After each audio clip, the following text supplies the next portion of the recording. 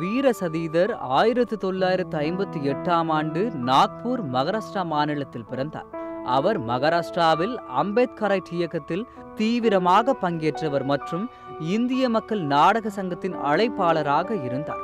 மராத்தி இதழான வித்ரோஹி பத்திரிகையின் ஆசிரியராகவும் இருந்தார். இரண்டாயிரத்து பதினைந்தாம் ஆண்டில் மராத்தி திரைப்படம் கோர்ட்டில் ஆசிரியரும் சமூக ஆர்வலருமான நாராயண் காம்ப்ளேவின் முக்கிய பாத்திரத்தில் நடித்தார். இந்த படம் தேசிய விருதை பெற்றது மற்றும் ஆஸ்கார் இரண்டாயிரத்து பதினாறாம் ஆண்டுக்கான இந்தியாவின் அதிகாரப்பூர்வ நுழைவாக தேர்வு செய்யப்பட்டது.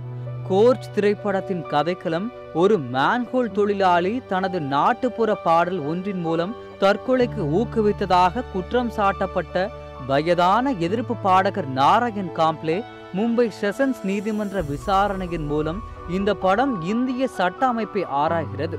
இதில் கீதாஞ்சலி குல்கர்னி பிரதீப் ஜோஷி ஷிரிஷ் பவார் ஆகியோரும் நடித்தனர். இப்படத்தின் இசையை சம்பாஜி பகத் இசையமைத்துள்ளார். மெருனல் தேசாய் மற்றும் ரிகவ் தேசாய் முறையே அதன் ஒளிப்பதிவாளர் மற்றும் ஆசிரியராக பணியாற்றினர். உண்மையான நீதிமன்ற அறைகளுக்கும் அவை படங்களில் சித்தரிக்கப்பட்ட விதத்திற்கும் உள்ள வித்தியாசத்தை காண தம்ஹானே ஆர்வமாக இருந்தார். பல நிஜ வாழ்க்கை வழக்குகளை சந்தித்த பின்னர் ஒரு இந்திய அமைப்பில் நீதித்துறை கனவை ஆராய அவர் விரும்பினார். அவரது நண்பர் விவேக் கோம்பர் இந்த படத்தை தயாரிக்க ஒப்புக்கொண்டார். மேலும் அவர் அதில் நடித்தார். படத்தில் குஜராத்தி மராத்தி ஹிந்தி மற்றும் ஆங்கிலம் என நான்கு மொழிகள் பேசப்படுகின்றன. மகாராஷ்டிராவில் அமைக்கப்பட்டிருப்பதால் பெரும்பாலான உரையாடல்கள் மராத்தியில் உள்ளன. மேலும் சட்டங்கள் ஆங்கிலத்தில் படிக்கப்படுகின்றன. பாதுகாப்பு வழக்கறிஞர் ஒரு குஜராத்தி மற்றும் குஜராத்தி மொழி பேசுகிறார். நீதிமன்றம் இரண்டாயிரத்து பதினான்கில் எழுபத்தி ஓராவது வெனிஸ் சர்வதேச திரைப்பட விழாவில் திரையிடப்பட்டது. அங்கு ஹொரைசன்ஸ் பிரிவில் சிறந்த திரைப்படத்தையும் தம்ஹானுக்கான லூகிட்டி லாரண்டிஸ் விருதையும் வென்றது. இந்த படம் பல திரைப்பட விழாக்களில் மற்ற பதினெட்டு விருதுகளை வென்றது. இது இரண்டாயிரத்து பதினான்காம் ஆண்டு மும்பை திரைப்பட விழாவின் சர்வதேச போட்டி பிரிவில் இந்தியாவில் திரையிடப்பட்டது. மற்றும் ஏப்ரல் பதினேழாம் தேதி இரண்டாயிரத்து பதினைந்தாம் ஆண்டு திரையரங்கில் வெளியிடப்பட்டது. வெளியானதும் இந்த படம் விமர்சன ரீதியான பாராட்டை பெற்றது. அறுபத்தி இரண்டாவது தேசிய திரைப்படத்தில் சிறந்த திரைப்படத்திற்கான தேசிய திரைப்பட விருதை வென்றது. இப்படத்தில் நடித்த வீரசதீதர் அப்படத்தில் மட்டும் அம்பேத்கரின் கொள்கைக்கு ரசிகனாக இல்லாமல் நிஜ வாழ்க்கையிலும் அவர் மீது அதீத பற்று கொண்டார்.